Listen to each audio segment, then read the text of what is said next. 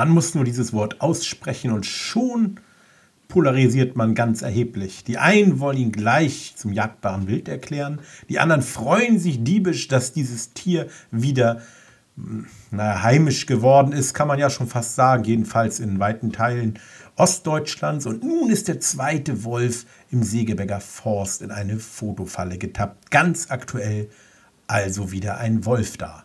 Was das genau bedeutet für die Zukunft, das berichtet Ihre Wolfsredaktion von Rickel TV auch in zukünftigen Sendungen.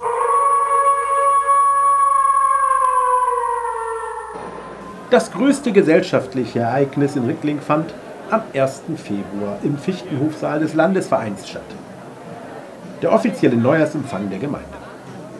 Der große Saal war gut gefüllt, alles was Rang und Namen hat in Rickling war dort zusammengekommen. Rickel TV zeigt einige Ausschnitte dieser Veranstaltung für all diejenigen, die nicht kommen konnten oder wollten. Die Show eröffnete Manfred Schub, Gemeindevertreter und Ex-Vorsitzender des Bürgervereins. Neujahrsempfang. Ich soll Sie wieder durch diesen Neujahrsempfang begleiten. Ich freue mich darauf. Wieder zusammen, und das freut uns besonders, mit dem Alten- und Pflegeheim Rickling, mit dem Landesverein für Innere Mission und der Gemeinde Rickling. Im Namen dieser drei und natürlich noch viele andere begrüße ich Sie heute Morgen recht herzlich. Den Redenreigen eröffnete Ricklings Bürgermeister Christian Thomann. Heute erleben wir unsere Gemeinde als ein weitgehend friedliches Umfeld. Schauen wir aber über Pegida und Dresden in die Welt, so ist diese nicht friedlicher geworden. Kriegerische Auseinandersetzungen legen zu, Menschen sterben, weil sie ihre Freiheit verteidigen müssen oder weil sie anderen Menschen diese Freiheit nehmen wollen. Angst ums Überleben, täglich in Schrecken versetzt und ohne Zukunftsperspektive, entschließen sich, ihre, entschließen sich, sie sich ihre angestammten Heimat zu verlassen um mit einem erheblichen Risiko in den befriedeten europäischen, europäischen Ländern und auch in Deutschland Schutz und Asyl zu suchen. Vergessen wir hier nicht unsere eigene Geschichte und besinnen uns auf die Erzählungen von Bekannten und Verwandten, die die Flucht und Vertreibung nach dem Zweiten Weltkrieg erlebten. Mit allem dem erfahrenen Leid, aber auch an die gewährten Hilfen. Nehmen wir dies zum Anlass, den heute Schutzsuchenden Asyl zu gewähren und helfen ihnen, unsere Gesellschaft verständlicher werden zu lassen. Ein Dank an dieser Stelle, die sich dieser Aufgabe angenommen haben.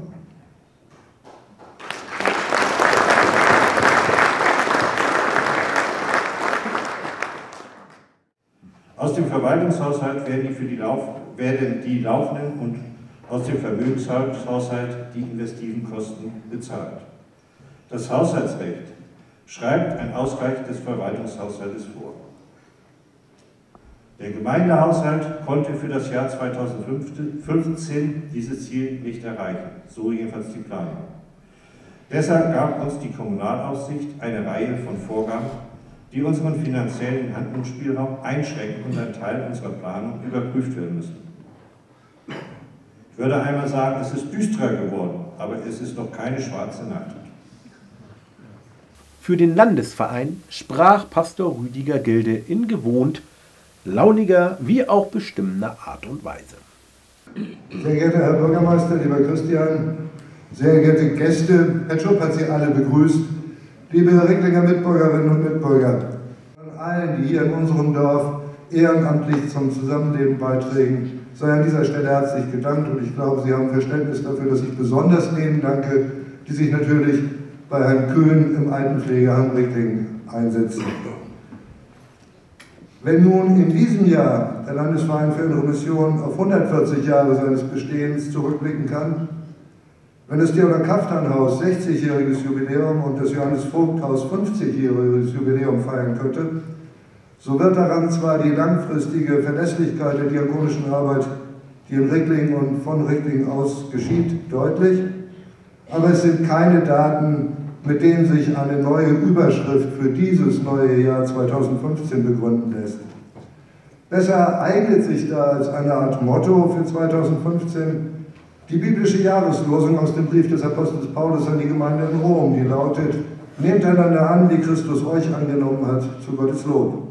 Aber ich denke, sie eignet sich in ihren Folgerungen, ob wir nun Christenmenschen sind oder nicht, auch als Überschrift für dieses neue Jahr 2015 in unserem Ort, für unser Zusammenleben in Ricklingen.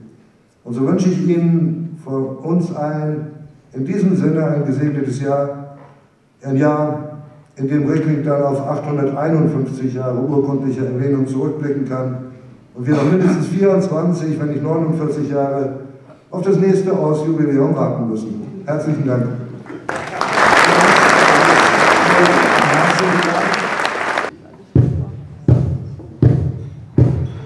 Auch Kultur wurde dargeboten, etwa durch die Jugendmusikgruppe der Kirche.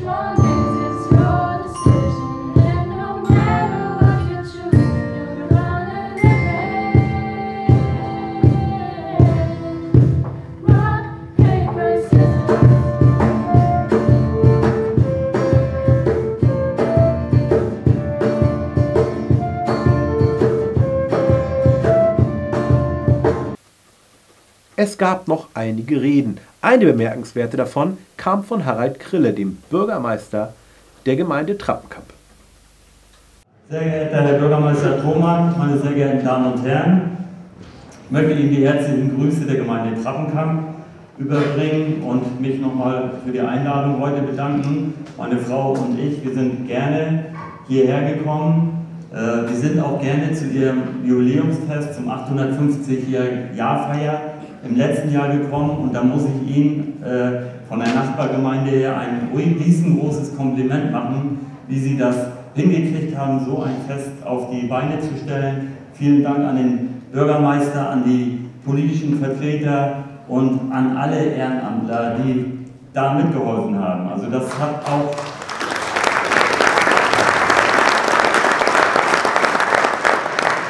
Also das hat auch Strahlkraft äh, bis in die anderen Gemeinden gehabt. Ich bin oft angesprochen worden, auch bei uns in der Gemeinde, Mann, äh, wie haben die das so hingekriegt? Also das war nicht selbstverständlich und wirklich von dieser Stelle meine Hochachtung für dieses Fest und äh, auch für die Willkommenskultur, dass man so herzlich aufgenommen wird hier in Richtling, das ist für mich auch ganz wichtig und das ist auch äh, ja, der richtige Schritt für eine gute Zusammenarbeit, eine Zusammenarbeit, die für beide Seiten Vorteile hat.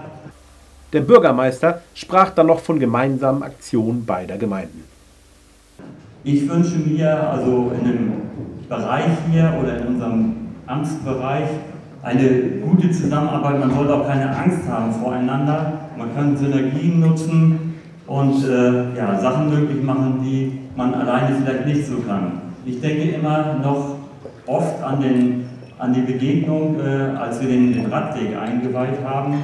Gemeinsam, da sind die Ricklinger und die Trappenkamper aufeinander zugefahren und haben nachher gemeinsam gefeiert. Also ich wünsche mir, dass wir vielleicht hinkriegen, beide Gemeinden, dass wir so eine Begegnung vielleicht auch mal im Erlebniswald machen können, dass wir uns auch mal ein bisschen näher kennenlernen und ja, gegenseitiges Vertrauen auch schaffen. Natürlich durfte und oder musste auch unser Schulleiter Herr Arnold König in den Ring, pardon, ans Rednerpult natürlich. Zunächst einmal standen viele Tage im Zeichen der 850-Jahr-Feier, so auch bei uns. Als gemeinsamer Beitrag zu diesem Jubiläum haben sich die Kita, die Volkshochschule, der Plattdeutsch Verein, der Verein Recklinger Schülerinsel und die Grundschule zusammengefunden und ein Sommerfest veranstaltet. Mit vielen Aktivitäten, Aktionen und Spielen und einem bunten Nachmittag für Jung und Alt ist er, glaube ich, vielen von Ihnen noch in einer guten Erinnerung. Aber auch die Schule intern hat im zurückliegenden Jahr in vielen Bereichen sich verändert und neue Elemente konnten ins Schulleben eingeführt werden. So wurden wir zum Beispiel zu Beginn des Schuljahres nunmehr ganz offiziell eine sogenannte offene Ganztagsschule und haben mit dem Verein Recklinger Schülerinsel einen engagierten und kooperativen Träger für diese Aufgabe gefunden. Für die gute Zusammenarbeit und auch für die finanzielle Unterstützung bei diesem Vorhaben danke ich der Gemeinde, der Verwaltung und dem Verein unter der Leitung von Christina Kutzke ganz herzlich. Ein paar Worte.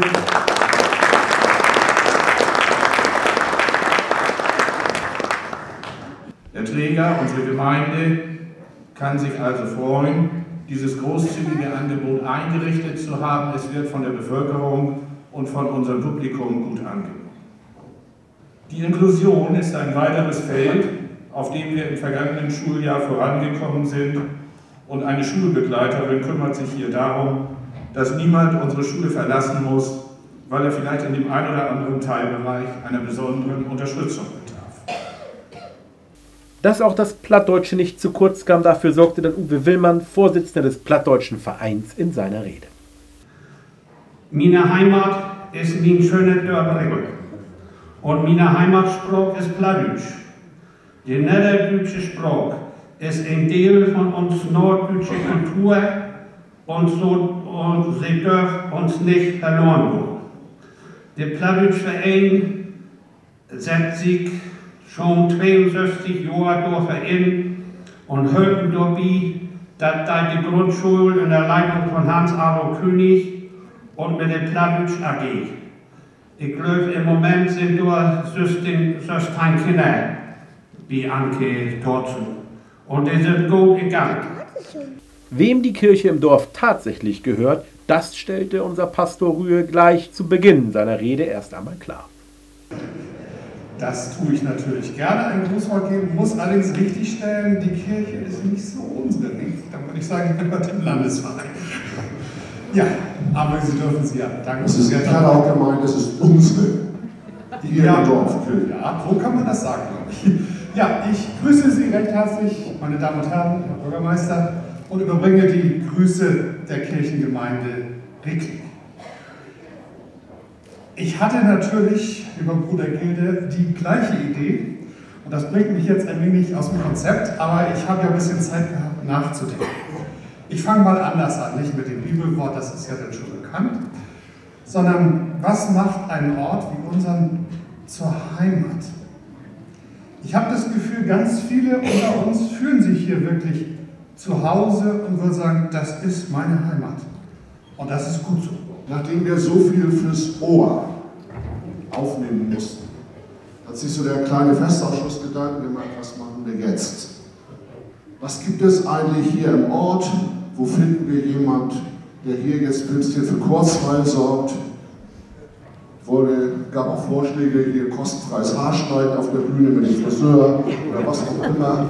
Nein, wir haben dann im Ort weitergesucht und haben gedacht, was gibt es hier Künstlerisches im Ort?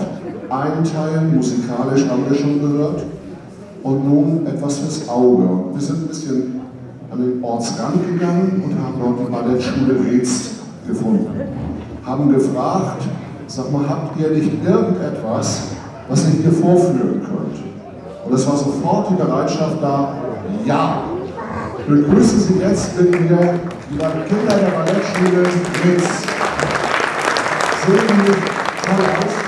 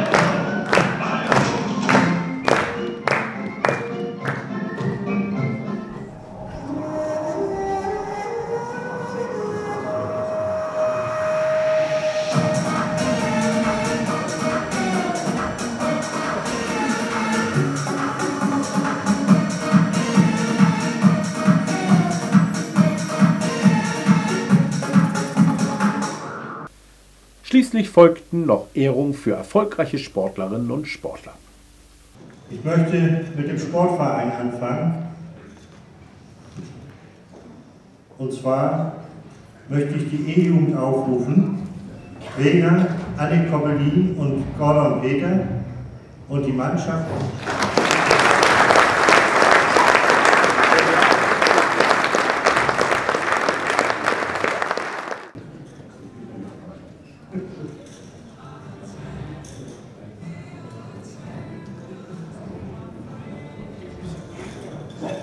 Die D-Jugend mit dem Trainer Jens David und Jörg Hilbert äh,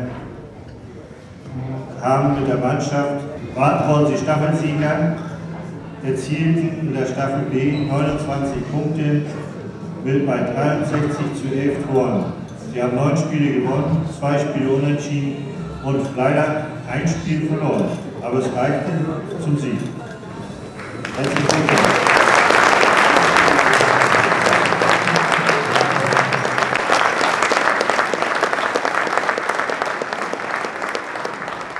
Mit den Trainern Dietmar Strich und Stefan Kortz. Die Mannschaft hat in der Kreisklasse B 20 Mal auf dem Feld gestanden, hat 17 Siege erreicht, 3 Unentschieden, damit keine Niederlage, 85 zu 20 Tore, 54 Punkte, 11 Punkte vor dem Zweiten. Also echt deutlich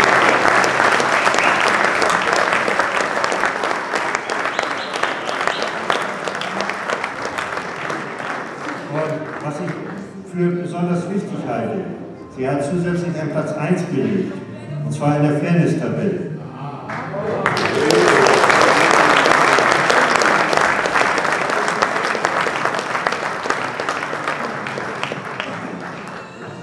Und man hat mir die Information zukommen lassen, es sind nur zwölf gelbe Karten gewesen. Im Vergleich zu den letzten, der in dieser Fairness-Tabelle, der hatte 43 gelbe, zwei rote und neun Zeitstrafen. Also, alle Achtung! Die Logenführerin Julia Kökebeen und die Einzelvoltigiererin Annika Scholz im vergangenen Jahr Kreismeister geworden sind. Ich möchte die beiden bitten, hier nach oben zu kommen.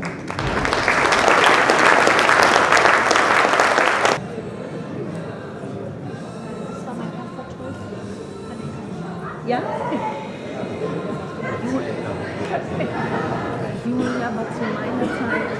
Noch den Schützenverein, der ja auch immer wieder für hervorragende Leistungen von Einzelschützen und von Mannschaften äh, bekannt ist. Und aus dem Spricklinger Schützenverein äh, möchte ich heute Mandy Dietrich, Manfred Evers und Karl Schmidt hier nochmal nach vorne bitten.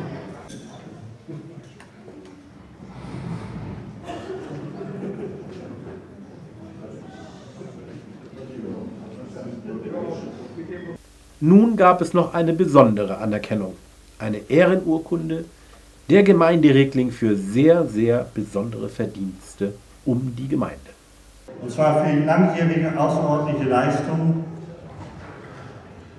zum Wohle der Gemeinde Regling und ihrer Bevölkerung, so steht es hier der Urkunde. Wird Herr Günther Tim im Namen der Gemeinde Regling Dank und Anerkennung ausgesprochen.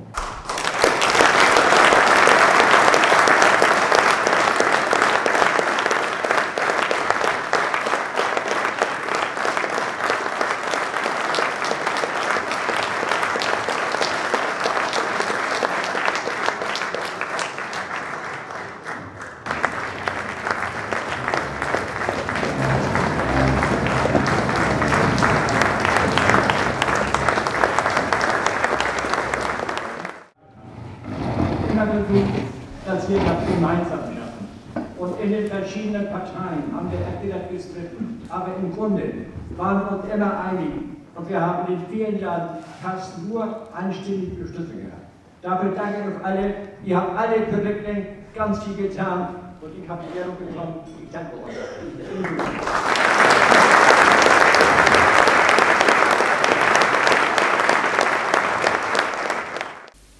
Eine besondere Auszeichnung ging auch an unsere drei Gemeindedienstmitarbeiter.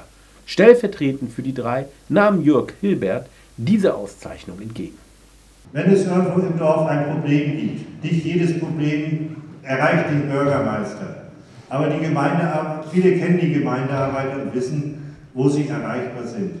Und wenn sie erreicht werden, dann sind sie auch immer bereit, zu helfen und zu kommen und Lösungen zu suchen. Und das manchmal auch zu ungewöhnlichen Tageszeiten. Und hierfür gilt unser Dank. Und deshalb möchten wir ein paar Kinogutscheine für die Familien überreichen und wünschen, dass ihr euch einen netten Film anguckt und viel Spaß dabei habt. Das Buffet, ich weiß nicht, ob es nun schon fertig ist. Doch, scheint so. Die Handzeichen deutlich mal, als es ist freigegeben. Deshalb wünsche ich Ihnen allen guten Appetit. Bedienen Sie sich hinten auf der Rückwand, ist es aufgebaut. Und ja, vielleicht können wir noch das ein oder andere Gespräch führen. Herzlichen Dank. Ja,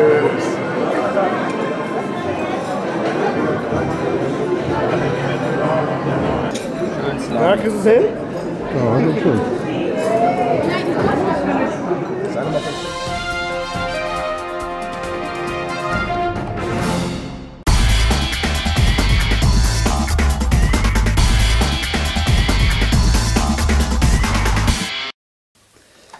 Das Feuer im Freibad, das, darüber berichtete Rickel TV nun ausführlich, sogar mit dem Interview äh, damals eines der mutmaßlichen Täter. Mm, wurde sehr oft angeschaut bei Rickel TV. Und nun kam es also zu dem Verfahren vor Gericht. Das Gericht verurteilte zwei junge Männer. Die Segeberger Zeitung schreibt in ihrer Ausgabe von Freitag, dem 13. Fast 125.000 Euro Sachschaden und die Schließung des Badebetriebs für mehrere Monate. Das waren die Folgen einer Brandstiftung im Ricklinger Freibad. Wir haben es leidvoll merken müssen. Ja, drei junge Männer waren dafür verantwortlich. Das Ganze fand statt im Oktober 2013 und äh, zwei der Täter wurden vor dem Jugendschöffengericht in Bad Segeberg verurteilt und zwar am 12. Februar. Ähm, der 20-Jährige zu einer Jugendstrafe von einem Jahr und sechs Monate, die für drei Jahre zur Bewährung ausgesetzt wurden.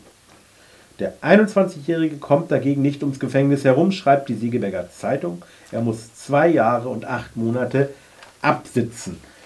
Wobei das, wie Rickel TV erfahren hat, wahrscheinlich nicht ganz stimmt. Äh, die Frage ist, ob er überhaupt davon etwas absitzen muss, da er im Moment eine sehr gute Sozialprognose hat.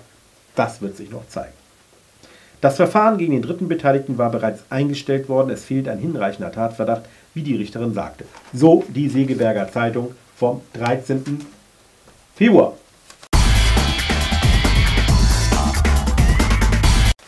Ja, eine andere Geschichte natürlich bitter, bitter. Äh, Ricklings Träume drohen am Kreditlimit zu scheitern.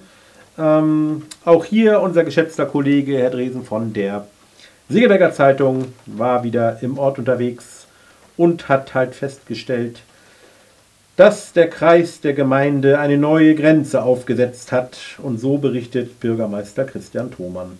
Statt der 330.000 Euro, die von der Gemeinde eigentlich ausgegeben werden sollten, ähm, werden nur 300.000 genehmigt. Grund, klar, das weiß wohl jeder aus Rickling, ist die wesentlich teurere, äh, es ist der wesentlich teurere Ausbau der Dorfstraße der ja lange genug gedauert hat. Tja, zum Opfer fallen da auch die Verschönerung der Spielplätze. Ähm, auch ein Jugendtreff, der besonders in der Einwohnersammlung gewünscht wurde, wird da wohl erstmal nicht kommen, weil es ja auch noch Räume äh, in Fernbötel und im Kirchengemeindehaus dafür gibt. Sogar die Erweiterung des Sportlerheims steht in Frage, sagte Christian Thomann der Segeberger Zeitung. Und eigentlich wollte die Gemeinde ein Drittel der Kosten davon übernehmen, nämlich 75.000 Euro. Und die sanitären Anlagen sollten vor allen Dingen erneuert werden. Was nun genau dem Rotstift zum Opfer fällt, darüber müssen nun die verschiedenen Ausschüsse beraten und das wird dann letztendlich nachher beschlossen von der Gemeindevertretung und dem Finanzausschuss. Ja, das waren Recklings Träume. Ähm, andere Träume sind verwirklicht worden, so zum Beispiel der der offenen Ganztagsschule. Der sogenannten OGS. Muss ja irgendwie alles eine Abkürzung haben. Also OGS, offene Ganztagsschule bei uns in Ricklingen. Und ähm, wie Schulleiter Hans-Arnold König berichtet laut Siegeberger Zeitung vom 31. Januar. Schon bei meiner Bewerbung um die Stelle vor vier Jahren habe ich eine OGS angeregt. Nun ist es also Wirklichkeit geworden und äh, es wird ein abwechslungsreiches Programm geboten. Jazzdance, afrikanisches Trommeln, Handarbeiten, Plattdeutsch, Handball, Schach, Tennis. Manches in Zusammenarbeit mit Vereinen wie Volkshochschule, Kreismusikschule und Sportverein. Das ist eine schöne Sache, denke ich mal. Und geleitet wird die OGS ehrenamtlich von Christina Kutzke, Rickel TV. Zuschauer werden sie kennen. Sie ist nämlich unsere Kamerafrau, die oft hinter der Kamera steht und manchmal auch schon davor. Also, sie leitet das Ganze auch und sie ist ja auch Vorsitzende des Vereins Schülerinsel Rickling. Äh, wer noch äh, ein Hobby hat und Lust hat, äh, etwas mit Kindern zu machen im Alter zwischen 6 und 10 Jahren und denen etwas zu vermitteln, der kann sich gerne an Christina Kutzke wenden. Die Nummer ist eingeblendet. Das Schwimmbadfest soll wieder stattfinden. Letztes Jahr ist es ja ausgefallen, auch aufgrund der äh, Dinge vom Brand, aber noch einige andere Gründe gab es dafür. Nun hat es einen Beschluss des Kultur- und Sozialausschusses gegeben. So stand es bei Land und Leute. Ähm, Termin ist jetzt der 27. Juni. Und äh, Vereine, Verbände und natürlich alle Bürgerinnen und Bürger können mit dem Beitrag, mit ihrem Beitrag auch zum Gelingen dieses Festes beitragen. Der Kultur- und Sozialausschuss wird sich dafür am 26.03. treffen. Das wird nochmal gesondert bekannt gegeben. Wer also da gerne mitmachen möchte und was organisieren möchte oder so, kann dort gerne vorbeikommen und dann sich aktiv beteiligen. Bischof Halfmann und kein Ende. Ja. Nun hatte man ja doch einer Umbenennung des Bischof Halfmann-Saals zugestimmt und äh, beziehungsweise das auch machen wollen weil er halt auch ein Wegbereiter der Judenverfolgung in der Nazizeit war. Der gute Bischof Halfmann. Ja, nun hat man also das Ganze umbenannt in den Fichtenhofsaal. Doch, so schreibt die Segeberger Zeitung und auch wir haben das natürlich festgestellt, ähm, nach wie vor hängt an der Wand vor dem zentralen Versammlungssaal ein großformatiges Konterfei von Wilhelm Halfmann samt Schriftzug Bischof Halfmann-Saal. Dazu sagte Landesvereinsdirektor Rüdiger Gilde, dass das eigentlich da, dazu eigentlich eine erläuternde Tafel hingehängt werden sollte, aber das ist irgendwie noch nicht geschehen. Was da auf der Tafel stehen soll, ist auch noch nicht bekannt. Also man ist dort noch im Findungsprozess. Aber äh, Landesvereinsdirektor Gilde, der vor kurzem 65 Jahre alt geworden ist, so weiß es die Segeberger Zeitung, und damit pensionsberechtigt. Er wolle das Problem auf jeden Fall erledigen, bevor sein Nachfolger den Dienst antritt. Na, da wollen wir mal sehen, was da passiert. Viele Ricklingerinnen und Ricklinger werden es mitbekommen haben. Es gab einen schweren Raubüberfall Anfang Januar, genau am 9. Januar. Morgens um 4 Uhr äh, wurden die Bewohner eines Mehrfamilienhauses in Schönmoor-Ecke, Straße am Wald und Schönmoorer Straße Opfer eines schweren Raubüberfalls. Das Ehepaar wurde gefesselt und gezwungen, den Safe zu öffnen und auszuräumen. Die Täter sollen Osteuropäer gewesen sein. Sie selbst sprachen von sich als Russen. Das teilte uns der Überfallene, äh, das teilte uns der Überfallene selbst mit. Er bittet auch alle Mitbürger und Mitbürgerinnen, denen vor oder am Tattag etwas Ungewöhnliches aufgefallen ist, das der Polizei bitte mitzuteilen.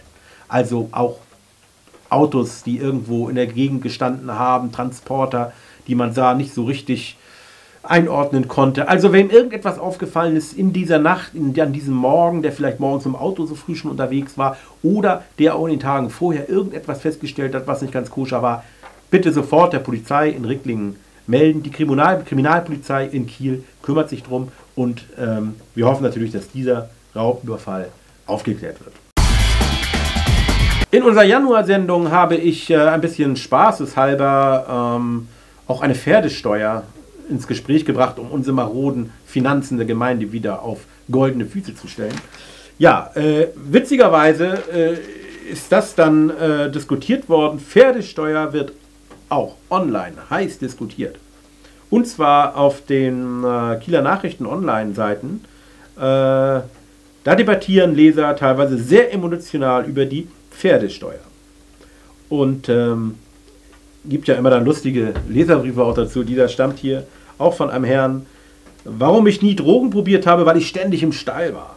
warum ich fähig zur Selbstkritik bin, weil mein Pferd mir den Spiegel vorhält. Das ist ein tolles Pferd. So ein Pferd würde ich auch gerne mal haben, was mir den Spiegel zeigt, obwohl, mh, vielleicht besser nicht. Okay, also äh, es gibt immer sehr witzige Argumente. Also äh, vielleicht hat jemand Rickel TV gesehen da in Kiel und hat ähm, diese Diskussion angestoßen. Pferdesteuer in Schleswig-Holstein. Den schönsten Leserbrief muss ich sagen. Also wer mich kennt, weiß, dass ich ja auch ein äh, Magazin, ein Angelmagazin mache. Und ich bekomme natürlich seit vielen Jahren auch immer viele Leserbriefe. Äh, dieser ist an die Segeberger Zeitung gegangen und das ist der schönste Leserbrief, den ich je gesehen habe. Und den will ich in Auszügen Ihnen mal vorlesen. Der ist ah, in diesem Wortsinne geil. Warum, das werden Sie gleich sehen.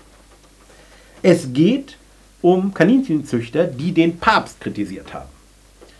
Beziehungsweise der Papst hat irgendeinen Vergleich vom Paarungsverhalten von Menschen und Kaninchen gebracht. Ich habe das nicht so genau verfolgt, aber ähm, da war wohl was. Und natürlich kann das die Kaninchenzüchter nicht auf sich sitzen lassen. Und ich lese mal Auszügen vor, was äh, ein Herr Dr. Gernhard Lange aus Klamp dazu geschrieben hat. Der überaus perfiden und gleichermaßen entwürdigenden Unterstellung, auch Rassekaninchen präge ein erhöhtes Sexualverhalten, ist nunmehr deutlich der Präsident Erwin Leowski des Zentralverbandes deutscher Rassekaninchenzüchter mit der zutreffenden Feststellung entschieden entgegengetreten, sexuelle Ausschweifung gäbe es nur bei freilebenden Tieren. Und wer hätte den Beweis dieser Leowski-These bei einem Spaziergang in freier Tour nicht schon selbst erlebt? Da kann man ja kaum noch treten vor Scharen von Wildkaninchen, wobei zahllose Rammler und Zimmen sich selbst helllichten Tages ungeniert und hemmungslos der Erhaltung der Rasse hingeben. Derlei zügelloses Sexualverhalten ist Zuchtrassekaninchen eben gerade nicht eigen. Ich glaube, der Film äh, Shade of Grace ähm, oder Grey of Shades oder wie das auch immer heißen mag, ist für Dr. Gerhard Lange genau das Richtige an einem launigen Sommerabend, wo er seine Kaninchen streicheln kann. Soweit, so gut. Vielen Dank fürs Zuschauen und wir wünschen einen schönen Rest Februar und wir sehen uns dann im März wieder. Dankeschön.